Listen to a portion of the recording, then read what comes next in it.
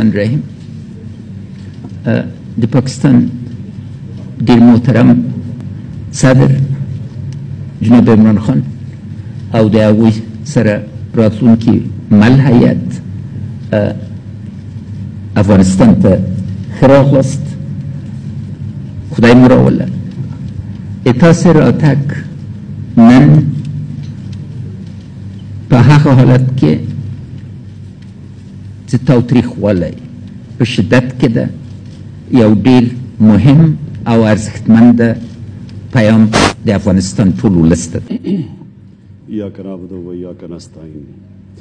Uh, President Ghani, first of all, thank you for your invitation to visit Kabul. Uh, I had been planning for at least 50 years to visit um, Afghanistan and Kabul. Uh, but I, it never happened. So I'm uh, pleased that uh, you invited me and I had an opportunity to visit this historic city. I know all about the history of Afghanistan, and I noticed that you know a lot about the history of uh, Pakistan and what is India. So uh, we are both students of history, and therefore Kabul is one of those cities which are of immense interest to us uh, and Afghanistan.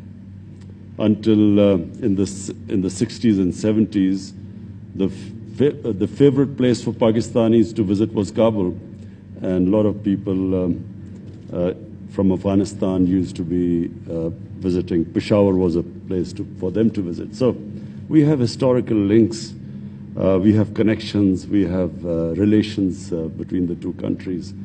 So my, I, the whole idea of coming at a time when violence is increasing in, in Afghanistan uh, is to assure you, uh, Mr. President, that we, the people of Pakistan, the government of Pakistan, have only one concern, and that concern is what you're feeling in Afghanistan, that we want peace.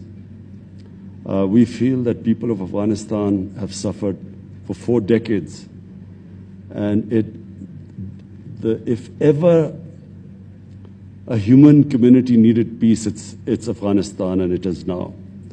Uh, Pakistan played its role in um, getting the first the Taliban to talk to uh, the Americans, and then the intra-Afghan dialogue, and we uh, noticed with concern that the level of violence, despite the talks in, in um, Qatar, despite the talks,